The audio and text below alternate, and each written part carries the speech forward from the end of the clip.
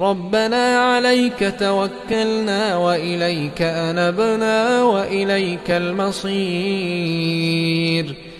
ربنا لا تجعلنا فتنة للذين كفروا واغفر لنا. ربنا إنك أنت العزيز الحكيم.